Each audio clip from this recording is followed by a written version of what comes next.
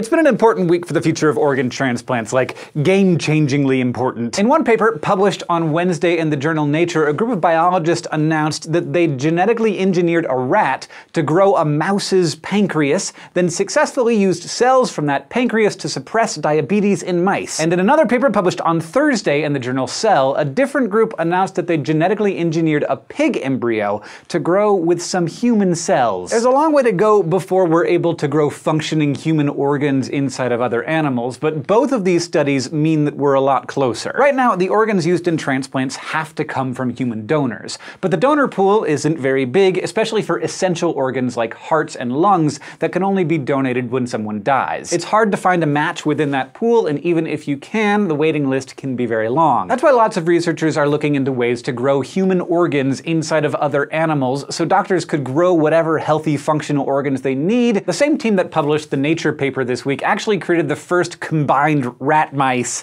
back in 2010. Any animal with a mix of cells with different genes is known as a chimera, and these were the first rat-mouse chimeras to be grown from embryos and survive. To do this, they injected rat stem cells into mouse embryos that had been genetically engineered so none of the mouse stem cells could develop into pancreatic tissue. Those embryos grew into rat-mouse chimeras with mixtures of rat and mouse cells throughout their bodies, except for their pancreases, because only the rat stem cells could grow into pancreatic tissue. That was a big deal on its own, but originally the researchers wanted to try transplanting clusters of the pancreas cells called islets into rats to suppress type 1 diabetes. Islets produce the insulin that helps regulate blood sugar, but in type 1 diabetes, the immune system destroys the islets. The researchers were hoping to transplant new islets into rats with type 1 diabetes to get them to start producing insulin again. Problem was the pancreases were mouse-sized, so they weren't big enough for the researchers to get all the islets they needed for a successful transplant. For the study published this week, the team tried the opposite of their 2010 experiment. They injected mouse stem cells into rat embryos, and these embryos grew into rat-mouse chimeras with pancreases that were fully mouse. This time, the pancreases were rat-sized, so the researchers were able to get enough islets to perform transplants. They took the islets from the mouse pancreases grown in the chimeras and transplanted them into mice with type 1 diabetes, so the mice started producing insulin again and the disease was suppressed. When it comes to organs, the pancreas is relatively simple, so this isn't quite the same as growing and transplanting, say, an entire heart or lung.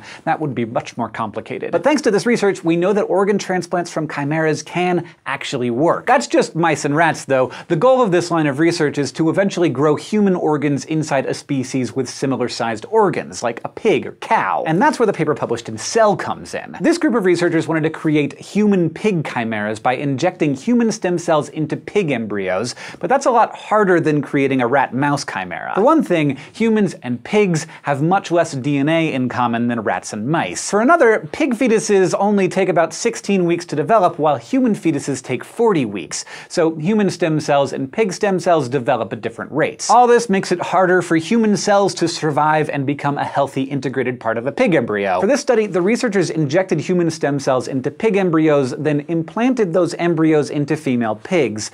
They let the fetuses develop for just three to four weeks, then euthanized them so they could analyze their cells in the lab. They found that the chimeras had developed with some human cells, but not very many of them, and even fewer of them grew to a typical healthy size. The fetuses were mostly pig, with some human cells sprinkled in among the developing muscles and organs. But still, they did it. The researchers made the first human-pig chimeras, and they're hoping that the process can be improved to the point where pigs can be grown with specific human tissues or entire organs. There are lots of extra challenges involved in this kind of research, though, and it's controversial. For instance, nobody wants people growing pigs with, like, human brains. And we are a long way away from being able to do anything like that, but scientists researching chimeras are still being really careful about the kinds of experiments they try. And it's possible that someday this research will lead us to being able to grow functional, vital organs that people need. Thanks for watching this episode of SciShow, which was brought to you by all of our patrons on Patreon, which is a place where people give money so that we can make a show for everyone. So there's a small number of people who make SciShow available for a huge number of people, and they are so great. Thank you to those patrons. If you want to learn more about that, you can go to patreon.com slash scishow. And if you just want to keep watching and learning with us here at SciShow, you can go to youtube.com slash scishow and subscribe.